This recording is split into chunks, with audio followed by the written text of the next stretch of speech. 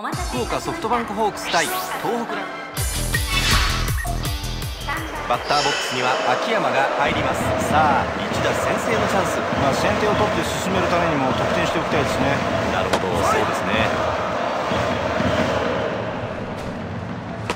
これは見送ってボール。3球目は何で来るか。3球目打ちました。ワンバウンドヒットになりました。セカンドランナーホームイました。1対0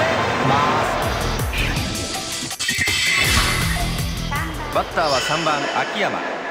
先ほどの打席で先制となるツーベースヒットを放っています。打った。高く上がった。スタンドには届きません。バッターランナーは二塁到達。チャンスを広げていきます。打順は3番秋山。今日はここまでマルチ安打を記録しています。ホークスホームランで得点を挙げています。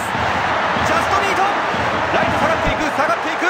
これはライトの頭上を越えていきました。バッターランナーは二塁到達。ツーアウトからランナーが出ましたソフトバンク。打席には3番バッター秋山。今日はここまで猛打賞を記録しています。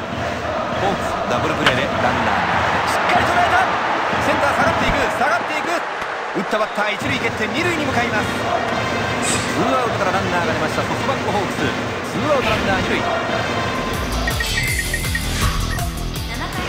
小宮山さん7回でこれだけ点差がついている場合ベンチとしてはどういった考えを持っているものなんですか？まあもうほぼつないでつないで勝てるという感じになりますのでね。ベンチは国も注目しましょう。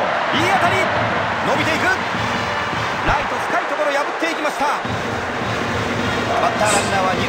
ました。先頭バッター出ました。